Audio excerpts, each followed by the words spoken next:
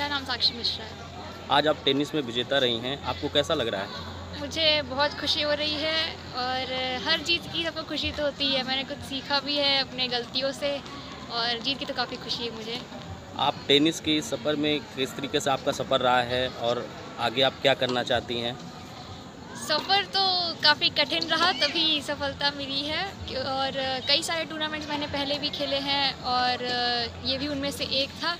आगे तो हर tennis player का सपना होता है ग्रैंड स्लैम खेले और मुझे भी ग्रैंड स्लैम खेलना है, आगे बढ़ना है टेनिस में, टेनिस प्लेयर बनना जो आपकी एज की बालिकाएँ हैं, उन्हें क्या संदेश देना चाहेंगी आप?